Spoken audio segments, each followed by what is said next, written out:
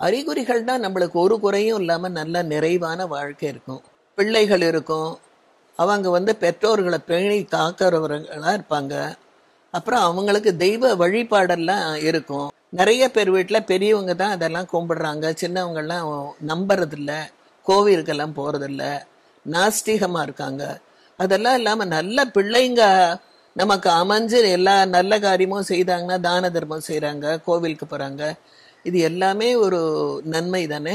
உண்ண உணவு இருக்க வீடு நாலு பேருக்கு தான தர்மம் செய்யறது இது எல்லாமே வந்து நமக்கு வந்து தெய்வத்தோட அருள்னால தான் கிடைக்கும். நமக்கு மட்டும் இல்லை நம் பரம்பரையில் உள்ள அடுத்த பசங்களுக்கு அவங்கள தலைமுறைக்கு வரத்துக்குன்னா அதுக்கெல்லாம் வந்து தெய்வத்தோட அனுகிரகம் இருக்கணும்.